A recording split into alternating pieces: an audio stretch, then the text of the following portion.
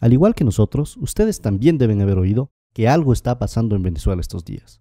Y como siempre sucede en estos casos, nos inundan las informaciones de medios privados con sus propios intereses. Ha comenzado el mismo refrán de siempre, con conceptos hechos para darnos miedo y no para informarnos. Surgen enseguida las grandes palabras. Represión, dictadura, censura. Pero como ya estamos acostumbrados a leer los intereses de la oligarquía, de los banqueros y muchas veces del imperio norteamericano detrás de estas noticias, vamos a tratar de tener una lectura más profunda y entender lo que realmente está pasando en Venezuela. Es muy importante tener una mirada geopolítica. Lo primero que tenemos que saber es que Venezuela tiene las más grandes reservas de petróleo conocidas en el mundo. Pero entenderemos mucho mejor lo que está pasando en Venezuela si damos una mirada a su vecino del norte, a los Estados Unidos. La sociedad estadounidense es una de las sociedades más consumidoras de los derivados de petróleo en el mundo. Primero que nada, en lo referente a la gasolina. Los Estados Unidos tienen la más alta tasa de carros por habitante en el planeta. Y obviamente hay otros derivados, como los plásticos, la ropa, los cosméticos. Para sostener esta sociedad dependiente del petróleo, Estados Unidos tiene que importar 60 de cada 100 barriles que consume. Tratemos de tener una mirada un poco más amplia. ¿De dónde viene el petróleo que se consume en Estados Unidos? Y en este sentido, el Medio Oriente es una zona clave. Estados Unidos importa una parte importante de su petróleo de Arabia Saudita, Qatar y los Emiratos Árabes Unidos. Y con estos aliados se han lanzado en una estrategia para tener una hegemonía política de la zona. Es así que son estos intereses energéticos, tanto en gas como en petróleo, que están detrás de la guerra de Irak, de la violencia actual en Siria, de la ocupación en Palestina y de la intervención en Libia. Ahora bien, una vez que hemos visto todo esto, un simple cálculo nos permitirá ver por qué Venezuela es tan importante para los Estados Unidos. El petróleo que viene del Medio Oriente pasa por el estrecho de Hormuz y sigue su camino por el sur de África hasta llegar a Texas. Este viaje dura entre 40 y 45 días. En cambio, el petróleo que viene de Venezuela solo tarda 4 a 5 días en llegar a Estados Unidos. Al comparar el costo que significa traer el petróleo del Medio Oriente y no de Venezuela, podemos entender muy claramente cuáles son los intereses norteamericanos en este asunto.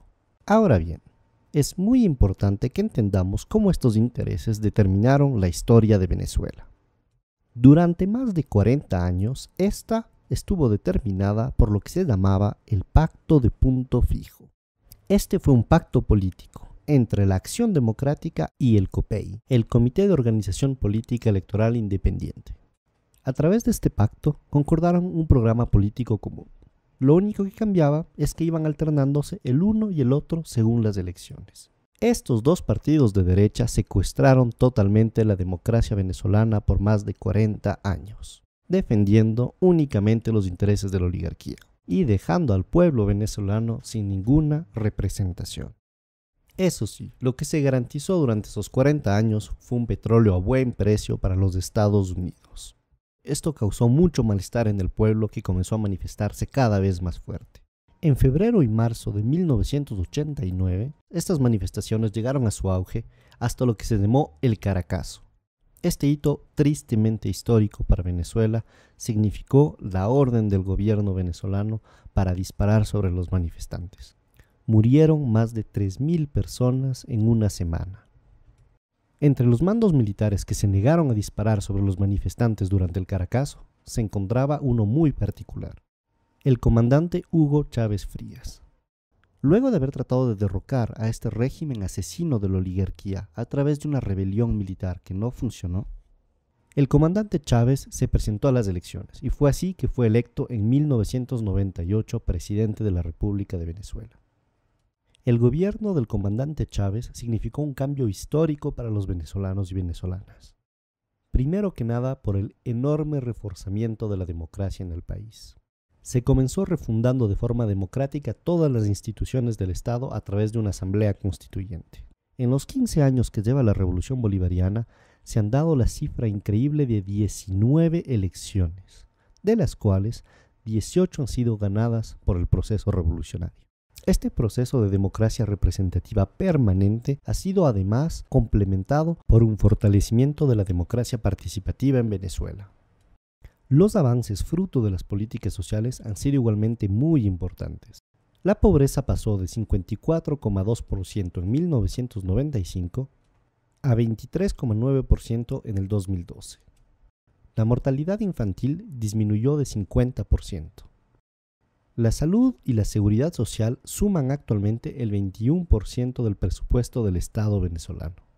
Las matrículas universitarias pasaron de 800.000 a 2.600.000 actualmente. Y Venezuela cuenta con 75 universidades públicas. Ya se ha erradicado el analfabetismo en todo el país. Obviamente, el imperio norteamericano, viendo que por primera vez en la historia un gobierno venezolano se ocupaba mucho más de su pueblo que de los intereses norteamericanos, y que el nuevo proceso de unión soberano y emancipador de América Latina amenazaba su hegemonía política, no se quedó con los brazos cruzados. En el 2002 apoyó claramente un golpe de Estado en contra del gobierno democráticamente electo de Hugo Chávez, al haber fallado este intento gracias a la movilización popular, fomentaron un sabotaje económico a través de un paro petrolero con el apoyo de la oligarquía. Sin embargo, este nuevo intento de desestabilización también fracasó. Es así que tenemos que entender que lo que está pasando en Venezuela es un nuevo proceso de desestabilización. Lo único que ha cambiado es que esta vez es una nueva estrategia, lo que llamamos el golpe suave. El primer paso es la guerra económica. Por más de que se han hecho ya muchos cambios en la economía venezolana, el país sigue dependiendo muchísimo de las importaciones para satisfacer sus necesidades básicas. Y la misma oligarquía que creó históricamente esta situación está tratando de aprovecharse ahora de ella. Por un lado, algunos de los industriales ligados con la oligarquía que quiere acabar con el proceso bolivariano están tratando de crear escasez de productos básicos para crear descontento popular. Y por el otro lado, algunos sectores importadores que también quieren acabar con este proceso están especulando con los dólares en vez de utilizarlos para importar productos de necesidades básicas para el país. Esto demuestra una vez más el cinismo de la oligarquía venezolana dispuesta a todo para volver al poder. Muy bien, ahora veamos el segundo y tal vez el más importante de los ejes del golpe suave. Este es el de la manipulación mediática.